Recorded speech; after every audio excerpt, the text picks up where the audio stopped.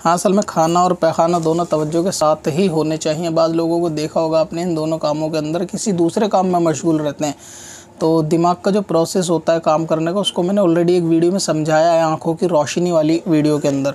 तो खाना खाते वक्त बाज़ लोग बातों में ध्यान लगाते हैं और बिना चबाए निकलते हैं। तो वो दांतों का काम आंतों से ले रहे होते हैं। तो ये भी बेवकूफ़ किस्म के लोग हैं कि जो खाने को बिना चबाए खाते हैं। खाने को इतमान के साथ मुकम्मल चबाना चाहिए और इस पर तवज्जो भी रखनी चाहिए कि आप खाने को चबा रहे हैं।